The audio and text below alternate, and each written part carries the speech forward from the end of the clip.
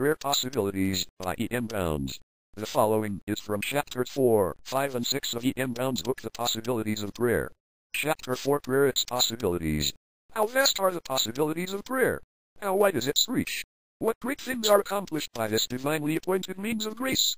It lays its hand on Almighty God and moves him to do what he would not otherwise do if prayer was not offered. It brings things to pass which would never otherwise occur. The story of prayer is the story of great achievements. Prayer is a wonderful power placed by Almighty God in the hands of His saints, which may be used to accomplish great purposes and to achieve unusual results. Prayer reaches to everything, takes in all things great and small, which are promised by God to the children of men. The only limit to prayer are the promises of God and His ability to fulfill those promises. Open thy mouth wide and I will fill it. The records of prayer's achievements are encouraging to faith, cheering to the expectations of saints, and is an inspiration to all who would pray and test its value. Prayer is no mere untried theory. It is not some strange unique scheme, concocted in the brains of men, and set on foot by them, an invention which has never been tried nor put to the test. Prayer is a divine arrangement in the moral government of God, designed for the benefit of men and intended as a means for furthering the interests of His cause on earth and carrying out His gracious purposes in redemption and providence. Prayer proves itself. It is susceptible of proving its virtue by those who pray. Prayer needs no proof other than its accomplishments. If any man will do his will, he shall know the doctrine. If any man will know the virtue of prayer, if he will know what it will do, let him pray. Let him put prayer to the test. What a breadth is given to prayer! What heights it reaches! It is the breathing of a soul, inflamed for God, and inflamed for man.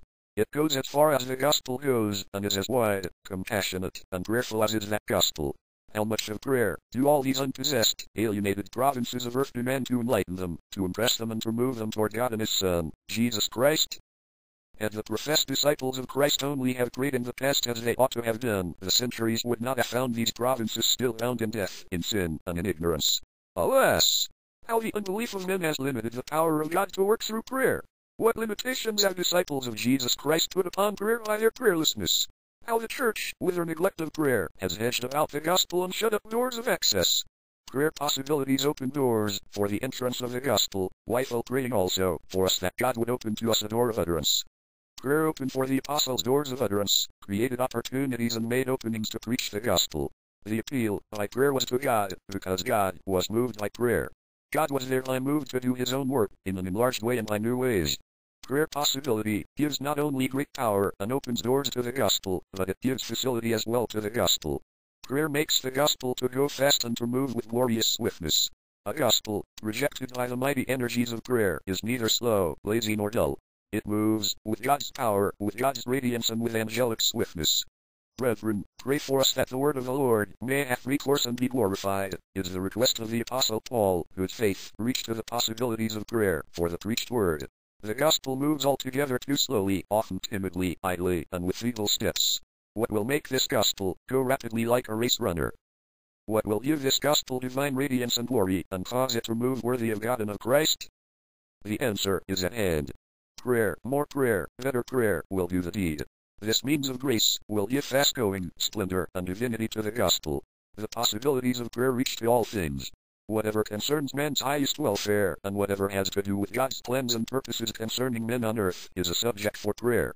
In whatsoever ye shall ask, is embraced all that concerns us or the children of men and God.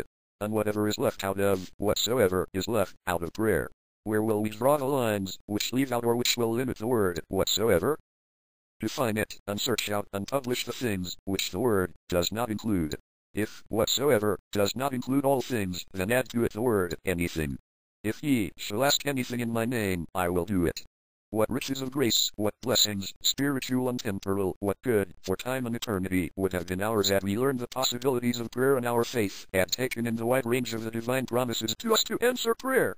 What blessings on our times and what furtherance to God's cause had we but learn how to pray with large expectations. Who will rise up in this generation and teach the church this lesson? It is a child's lesson in simplicity, but who has learned it well enough to put prayer to the test? It is a great lesson in its matchless and universal good. The possibilities of prayer are unspeakable, but the lesson of prayer, which realizes and measures up to these possibilities, who has learned? In his discourse in John 15, our Lord seems to connect friendship for him with prayer, and his choosing of his disciples seemed to have been with a design that through prayer they should bear much fruit. Ye are my friends, if ye do whatsoever I command you. Ye have not chosen me, but I have chosen you, and ordained you, that ye should go and bring forth fruit, and that your fruit should remain, that whatsoever ye shall ask the Father in my name, he may give it to you. Here we have again the undefined and unlimited word, whatsoever, as covering the rights and the things for which we are to pray and the possibilities of prayer. We have still another declaration from Jesus, Verily, verily, I say unto you, whatsoever ye shall ask the Father in my name, he will give it to you. Hitherto ye have asked nothing in my name, ask, and ye shall receive, that your joy may be full. Here is a very definite exhortation from our Lord to largeness in praying. Here we are definitely urged by him to ask for large things, and announced with a dignity and solemnity indicated by the double amen, verily, verily. Why these marvelous urgencies in this last recorded and vital conversation of our Lord with his disciples? The answer is that our Lord might prepare them for the new dispensation in which prayer was to have such marvelous results, and in which prayer was to be the chief agency to conserve and make aggressive his gospel. In our Lord's language to his disciples about choosing them that should bear fruit, he clearly teaches us that this matter of praying and fruit bearing is not a petty business of our choice, or secondary matter in relation to other matters, but that he has chosen us for this very business of praying. He has specially in mind our praying, and he has chosen us of his own divine selection, and he expects us to do this one thing of praying and to do it intelligently and well. For he before says that he had made us his friends, and had brought us into bosom confidence with him, and also into free and full conference with him. The main object of choosing us as his disciples in a friendship for him was that we might be the better fitted to bear the fruit of prayer. Let us not forget that we are noting the possibilities of the true praying ones. Anything is the word of area circumference. How far it reaches we may not know. How wide it spreads, our minds fail to discover. What is there, which is not within its reach? Why does Jesus repeat and exhaust these words, all-inclusive and boundless words, if he does not desire to emphasize the unbounded magnificence and illimitable munificence of prayer? Why does he press men to pray, so that our very poverty might be enriched and our limitless inheritance by prayer be secured? We affirm, with absolute certainty, that Almighty God answers prayer. The vast possibilities and the urgent necessity of prayer lie in this stupendous fact that God hears and answers prayer. And God hears and answers all prayer. He hears and answers every prayer where the true conditions of praying are met. Either this is so or it is not. If not, then is there nothing in prayer? Then prayer is but the recitation of words, a mere verbal performance, an empty ceremony. Then prayer is an altogether useless exercise. But if what we have said is true, then are there vast possibilities in prayer. Then is it far-reaching in its scope and wide in its range. Then is it true that prayer can lay its hand upon Almighty God and move him to do great and wonderful things. The benefits, the possibilities and the necessity of prayer are not merely subjective but are peculiarly objective in their character. Prayer aims at a definite object. Prayer has a direct design in view. Prayer always has something specific before the mind's eye. There may be some subjective benefits which accrue from praying, but this is altogether secondary and incidental. Prayer always drives directly at an object and seeks to secure a desired end. Prayer is asking, seeking and knocking at a door for something we have not, which we desire, and which God has promised to us. Prayer is a direct address to God. In everything let your requests be made known unto God. Prayer secures blessings and makes men better, because it reaches the ear of God. Prayer is only for the betterment of men when it has affected God and moved him to do something for men. Prayer affects men by affecting God. Prayer moves men, because it moves God to move men. Prayer influences men, by influencing God to influence them. Prayer moves the hand that moves the world. That power is prayer, which soars on high, through Jesus to the throne, and moves the hand, which moves the world, to bring salvation down. The utmost possibilities of prayer have rarely been realized. The promises of God are so great to those who truly pray when He puts Himself so fully into the hands of the praying ones that it almost staggers our faith and causes us to hesitate with astonishment his promise to answer unto you do and to give all things, anything, whatsoever, and all things whatsoever, is so large, so great, so exceeding broad, that we stand back in amazement and give ourselves to questioning and doubt. We stagger at the promises through unbelief. Really the answers of God to prayer have been pared down by us to our little faith, and have been brought down to the low level of our narrow notions about God's ability, liberality, and resources. Let us ever keep in mind and never for one moment allow ourselves to doubt the statement that God means what he says in all of his promises. God's promises are his own word. His veracity is at stake in them. To question them is to doubt his veracity. He cannot afford to prove faithless to his word. In hope of eternal life, which God, that cannot lie, promised before the world began. His promises are for plain people, and he means to do for all who pray just what he says he will do. For he is faithful that hath promised. Unfortunately we have failed to lay ourselves out in praying. We have limited the Holy One of Israel. The ability to pray can be secured by the grace and power of the Holy Spirit, but it demands so strenuous and high character that it is a rare thing for a man or woman to be on praying ground and on pleading terms with God. It is as true today as it was in the days of Elijah that the fervent, effectual prayer of a righteous man availeth much. How much such a prayer avails, who can tell? The possibilities of prayer are the possibilities of faith. Prayer and faith are Siamese twins. One heart animates them both. Faith is always praying. Prayer is always believing. Faith must have a tongue by which it can speak. Prayer is the tongue of faith. Faith must receive. Prayer is the hand of faith stretched out to receive. Prayer must rise and soar. Faith must give prayer the wings to fly and soar. Prayer must have an audience with God. Faith opens the door, and access and audience are given. Prayer asks. Faith lays its hand on the thing asked for. God's omnipotent power is the basis of omnipotent faith and omnipotent praying. All things are possible to him that believeth, and all things whatsoever are given to him who prays. God's decree and death yield readily to Hezekiah's faith and prayer. When God's promise and man's praying are united by faith, then nothing shall be impossible. Importunate prayer is so all-powerful and irresistible that it obtains promises or wins where the prospect and the promise seem to be against it. In fact, the New Testament promise includes all things in heaven and in earth. God, by promise, puts all things he possesses into man's hands. Prayer and faith put man in possession of this boundless inheritance. Prayer is not an indifferent or a small thing. It is not a sweet little privilege. It is a great prerogative, far-reaching in its effects. Failure to pray entails losses far beyond the person who neglects it. Prayer is not a mere episode of the Christian life. Rather, the whole life is a preparation for and the result of prayer. In its condition, prayer is the sum of religion. Faith is but a channel of prayer. Faith gives it wings and swiftness. Prayer is the lungs through which holiness breathes. Prayer is not only the language of spiritual life, but also makes its very essence and forms its real character. Oh, for faith that will not shrink, though pressed by every foe, that will not tremble on the brink of any earthly woe. Lord, give us such a faith as this, and then, winter may come, we'll taste and hear the hallowed bliss of our eternal home. Chapter 5 Prayer Its Possibilities, continued.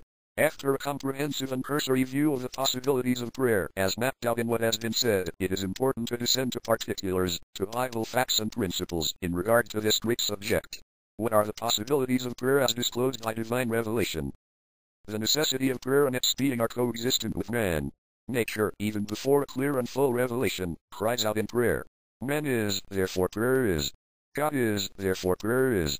Prayer is born of the instincts, the needs and the cravings and the very being of man.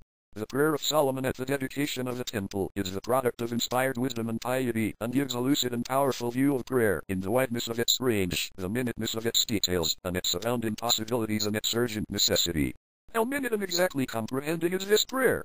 National and individual blessings are in it, and temporal and spiritual good is embraced by it individual sins, national calamities, sins, sickness, exile, famine, war, pestilence, mildew, drought, insects, damage to crops, whatever affects husbandry, enemies whatsoever sickness, one's own sore, one's own guilt, one's own sin one and all are in this prayer, and all are for prayer.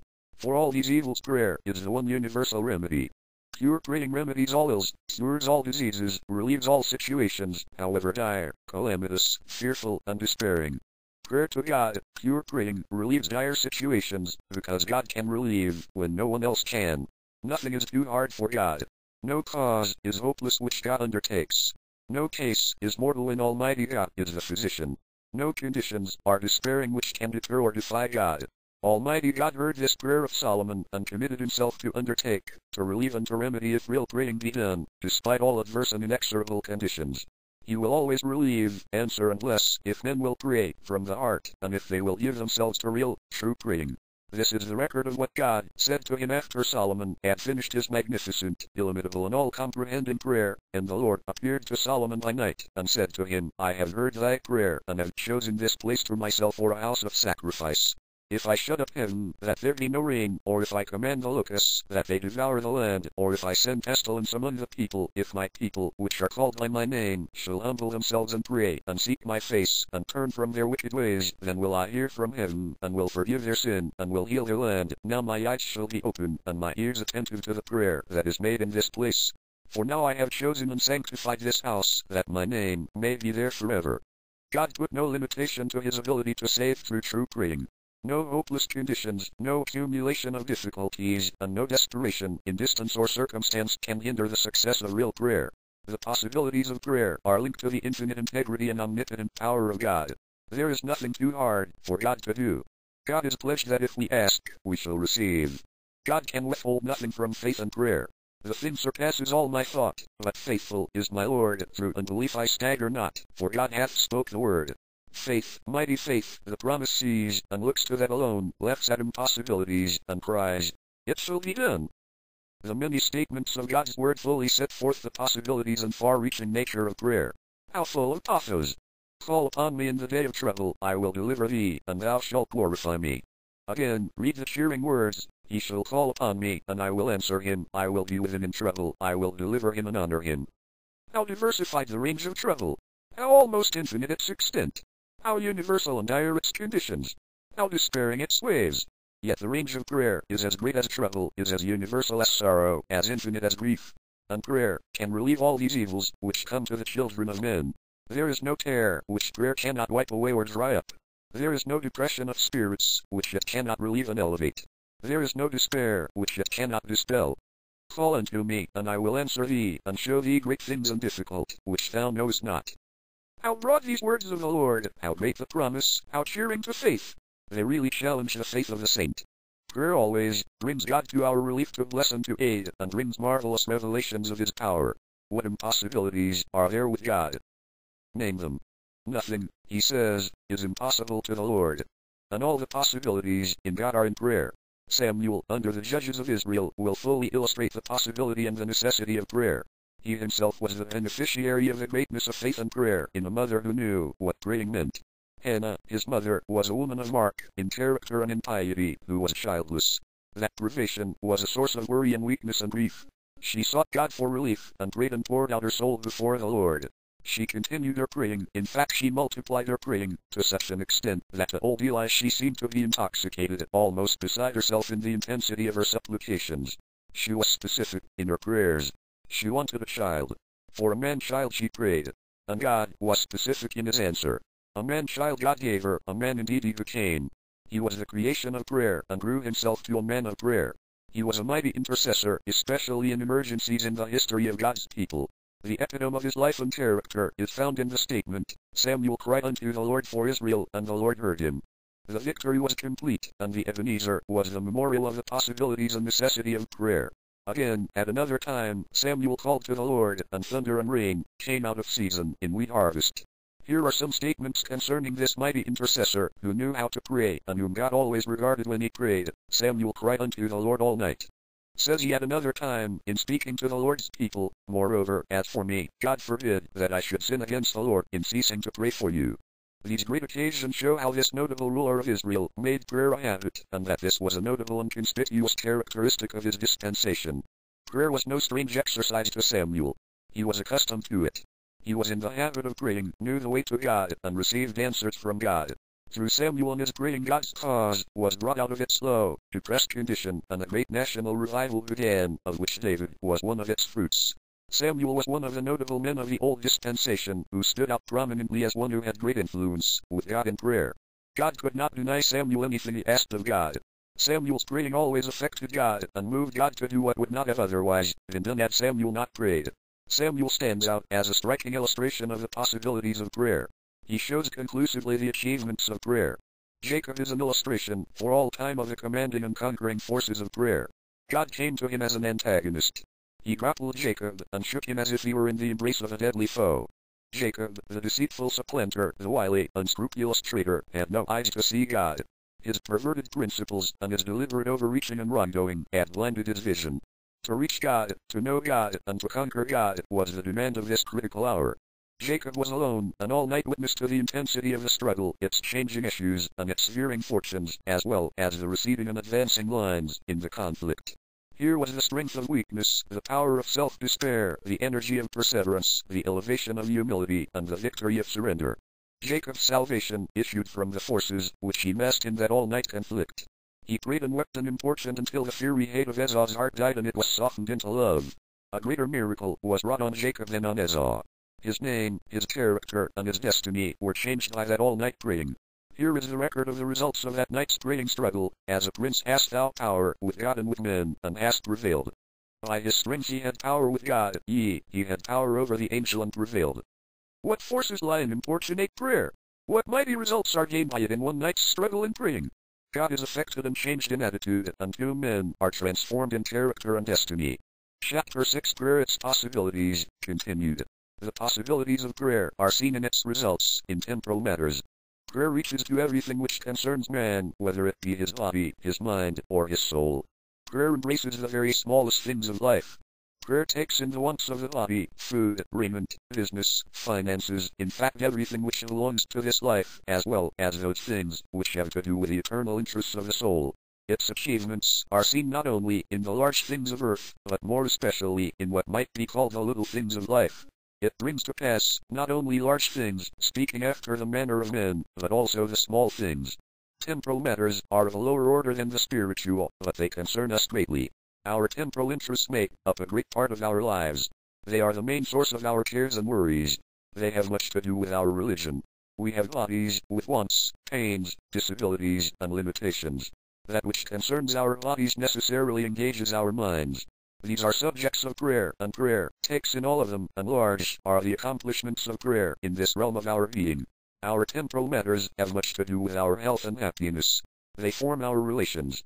They are tests of honesty and belong to the sphere of justice and righteousness. Not to pray about temporal matters is to leave God out of the largest sphere of our being.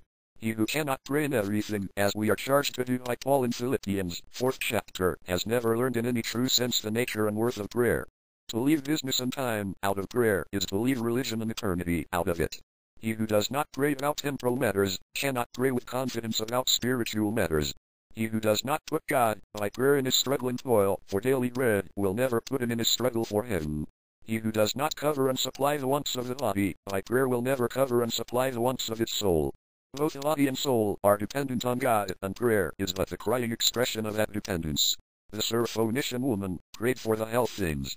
In fact, the Old Testament is but the record of God in dealing with his people through the divine appointment of prayer. Abraham prayed that Sodom might be saved from destruction. Abraham's servant prayed and received God's direction in choosing a wife for Isaac. Hannah prayed, and Samuel was given to her. Elijah prayed, and no rain came for three years. And he prayed again, and the clouds gave rain. Hezekiah was saved from a mortal sickness by his praying. Jacob's praying saved him from Esau's revenge. The Old Bible is the history of prayer for temporal blessings as well as for spiritual blessings. In the New Testament we have the same principles illustrated and enforced. Prayer in this section of God's Word covers the whole realm of good, both temporal and spiritual. Our Lord, in His universal prayer, the prayer for humanity, in every clime, in every age and for every condition, puts in it the petition, Give us this day our daily bread. This embraces all necessary earthly good. In the Sermon on the Mount, a whole paragraph is taken up by our Lord about food and raiment, where he is cautioning against undue care or anxiety for these things, and at the same time encouraging a faith which takes in and claims all these necessary bodily comforts and necessities. And this teaching stands in close connection with his teachings about prayer. Food and raiment are taught as subjects of prayer. Not for one moment is it even hinted that they are things beneath the notice of a great God, nor too material and earthly for such a spiritual exercise as prayer. The Syrophoenician woman prayed for the health of her daughter. Peter prayed for Dorcas to be brought back to life.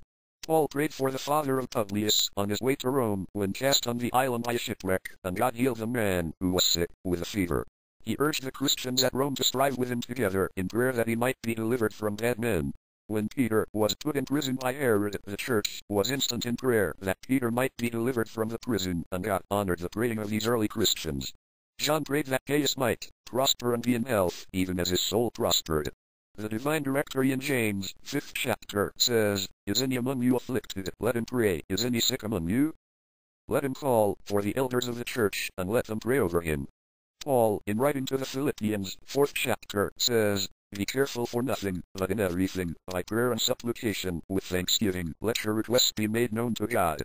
This provides for all kinds of cares business cares, home cares, body cares, and soul cares. All are to be brought to God by prayer, and at the mercy seat our minds and souls are to be unburdened of all that affects us or causes anxiety or uneasiness.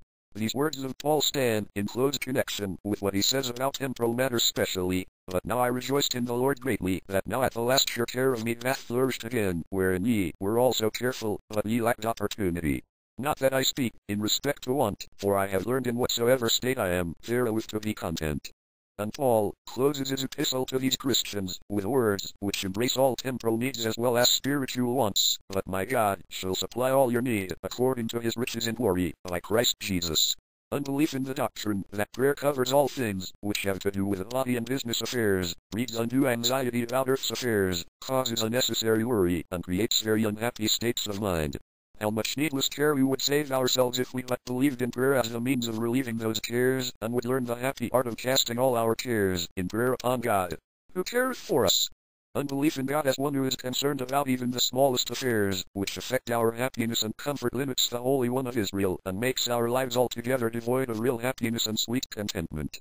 We have in the instance of the failure of the disciples to cast the devil out of the lunatic son, brought to them by his father, while Jesus was on the Mount of Transfiguration, a suggestive lesson of the union of faith, prayer, and fasting, and the failure to reach the possibilities and obligations of an occasion. The disciples ought to have cast the devil out of the boy. They had been sent out to do this very work, and had been empowered by their Lord and Master to do it. And yet they signally failed. Christ reproved them with sharp upbraidings for not doing it. They had been sent out on this very specific mission. This one thing was specified by our Lord when He sent them out. Their failure brought shame and confusion on them, and discounted their Lord and Master and His cause. They brought Him into disrepute, and reflected very seriously upon the cause which they represented. Their faith to cast out the devil had signally failed, simply because it had not been nurtured by prayer and fasting. Failure to pray broke the ability of faith, and failure came because they had not the energy of a strong authoritative faith. The promise reads, and we cannot too often refer to it, for it is the very basis of our faith and the ground on which we stand when we pray, All things whatsoever ye ask in prayer, believing, ye shall receive. What enumeration table can tabulate, itemize, and aggregate all things whatsoever? The possibilities of prayer and faith go to the length of the endless chain and cover the unmeasurable area. In Hebrews 11, the sacred penman, wearied with trying to specify the examples of faith and to recite the wonderful exploits of faith, pauses a moment and then cries out, giving us almost unheard of achievements of prayer and faith as exemplified by the saints of the olden times. Here is what he says, and what shall I say more? For the time would fail me to tell of Gideon, of Barak, of Samson, of Jephthah, of David also, and Samuel, and the prophets, who through faith subdued kingdoms, wrought righteousness, obtained promises, stopped the mouths of lions, quenched the violence of fire, escaped the edge of the sword, out of weakness, were made strong, waxed valiant in fight, turned to flight the armies of the aliens, women received their dead, raised to life again, and others were tortured, not accepting deliverance, that they might obtain a better resurrection. What an illustrious record is this!